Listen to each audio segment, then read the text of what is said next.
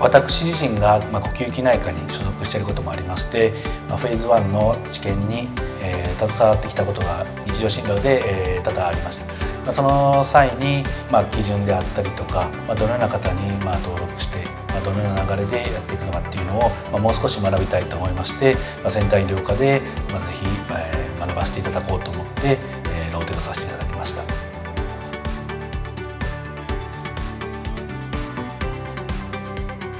まあ、実際に、ま、フェーズ1試験が、ま、どのように進んでいって投薬まで結んでいくのかっていうのを日常診療で学べたことと、まあ、DLT 評価とかあまり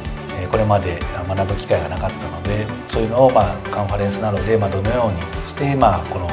薬を、まあ、世に出していくのかっていうのを戦略的に見ていったところがも勉強になりました。